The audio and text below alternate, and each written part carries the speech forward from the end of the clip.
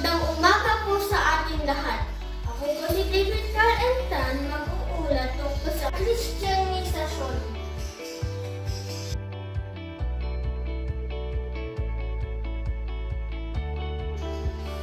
Malaki ang papel na ginagampanan ng simbahan sa pagpapatupad ng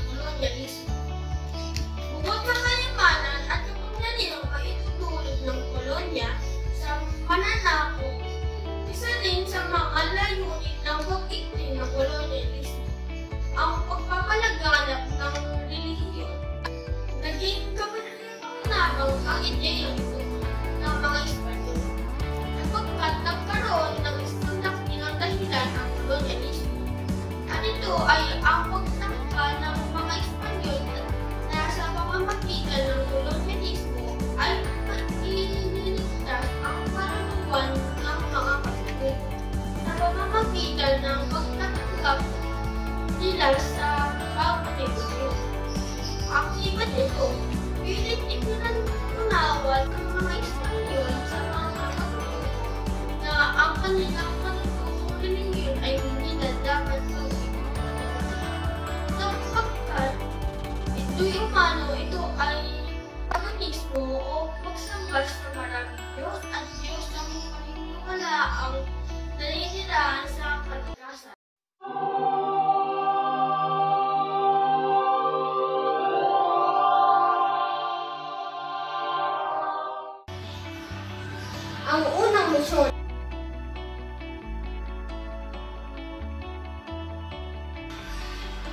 Kaugnay na pagkapalaganap ng Kristyanismo, hiniyak ng Spain ang pagmimisyon ng mga praile sa kolonya.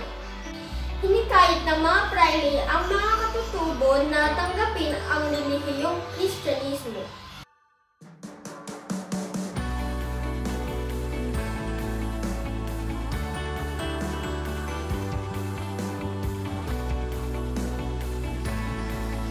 pagdating ni Miguel Robles Dirigas 1865 sa Pilipinas, kasama niya ang limang pari Agustinian na pinamumunuan ni Andres de Urdaneta. Sumunod ang iba pang pari Agustinian kung kaya sa pagdagdag ng kanilang bilang ay ipinatupad ang pagkatalagan ng mga partikular na lugar kung saan nangmimisyon ang mga prime. At sa bawat lugar ay magtatalagan ng pura paroko.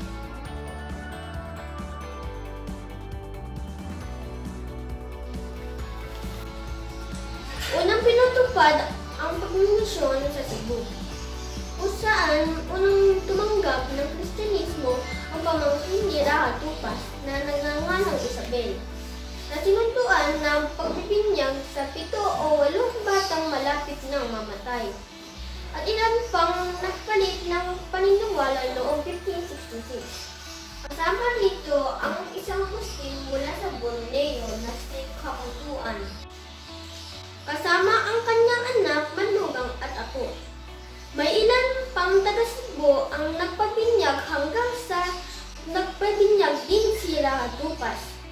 At ang kanyang anak na si Pinsun Khan at ang iba pang mga pinuno noong Marso 1568 sa pagtanggap ng kanilang mga pinuno.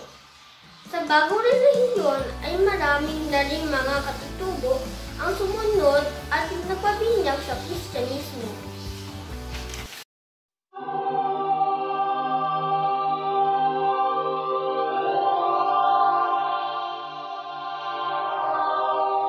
Hapon po sa inyo lahat. Ako po si Leon Francine Flores, mag-uulat tungkol sa pagpapatuloy ng misyon. Alam niyo ba, bukod sa Cebu, naging aktibo rin ang mga praile sa pagmimisyon sa Maynila, partikular sa Tondo at Pasig.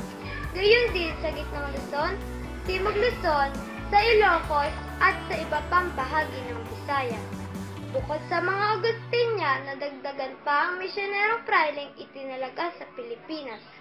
Dumating ang mga Franciscan noong 1577.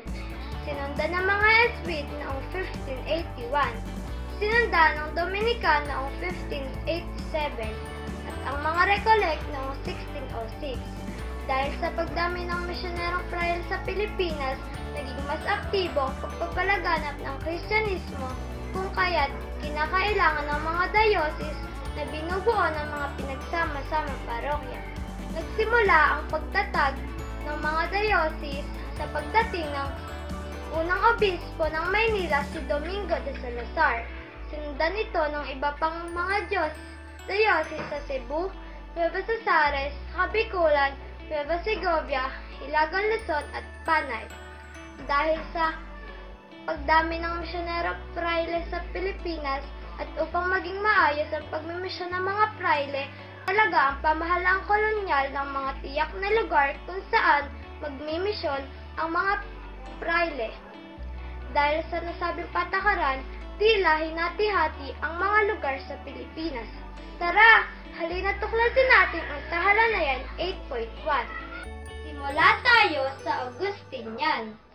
Ang mga kabilang dito ay Ilocos, Gitnang Luzon, Timog Luzon, paligid ng Maynila, Cebu, Negros at Panay. Sunod ay ang Franciscan. Ang mga kabilang naman dito ay Bicol, Catanduanes, Masbate, Laguna, Tayabas. Sunod ay ang mga Jesuit. Kabilang dito ang Mindoro, Samar, Leyte, Bohol, Cavite, Antipolo, Cainta, Tagaytay at Marikina. Pang-apat naman ay ang Dominican. Kabilang dito ang Bataan, Pangasinan, Cagayan, Batanes at Babuyan. At ang panghuli ay ang mga Rekole.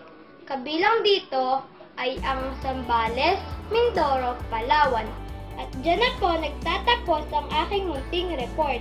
At muli, ako po si Leah Francine and Flores. At maraming maraming salamat po.